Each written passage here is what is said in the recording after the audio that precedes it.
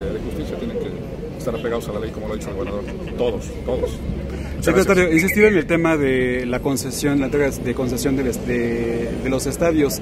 El proyecto no define bien cómo, cómo va a ser la entrega de la concesión del estacionamiento.